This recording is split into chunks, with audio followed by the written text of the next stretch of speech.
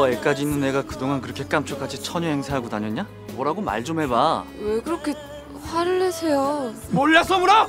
우리 그냥 여기서 1년만 살 거 아니야. 1년만. 그냥 넘어가 줄 수 없어? 그 미용사 일이 꽤그 고되다고 하대. 몇 달을 못 버티고 그만두는 사람이 다반사예요. 그때 그 아가씨 누구야? 조직 적합성이 아주 뛰어났던 조건을 가진 아가씨를 찾아놓고 왜 이러고 있어? 출근 안 하냐? 저 잘렸어요. 아니 그럼 집안에 백수가 몇 명이야? 형수한테 함부로 하면 안 되겠는데? 아이고 정 그렇게 궁금하다면 남편한테 가서